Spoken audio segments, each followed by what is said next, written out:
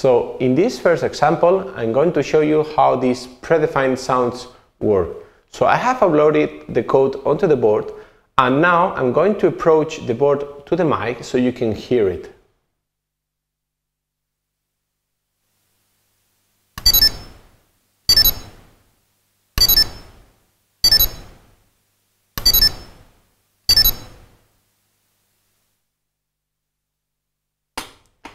Okay, thank you very much.